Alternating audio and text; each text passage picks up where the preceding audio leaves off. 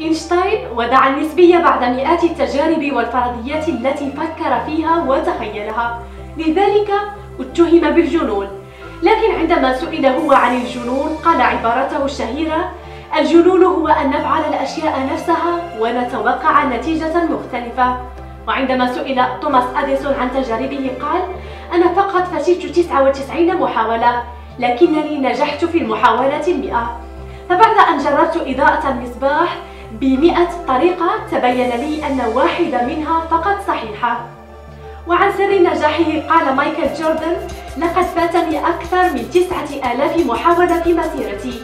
لقد فوتت ما يقارب من 300 مباراة و26 مرة تم الوثوق بي لأفوز باللعبة. ولكن فاتني ذلك. لقد فشلت مرارا وتكرارا في حياتي وهذا هو سبب نجاحي. كم مرة في حياتك؟ أخذت قرارا مصيريا غير خط حياتك من يومها إلى الآن. الكاتب الأمريكي مارك توين له كلمة في غاية العمق والأهمية.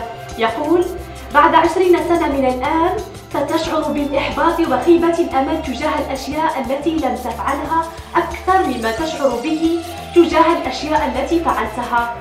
ستشعر بالأسف وربما بالندم لأنك لم تكن شجاعا بما يكفي لاتخاذ قرار ما.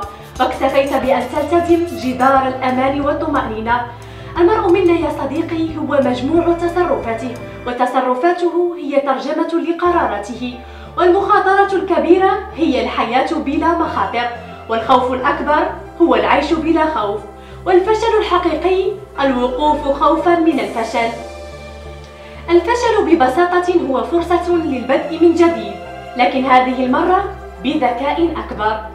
دمتم سالمين.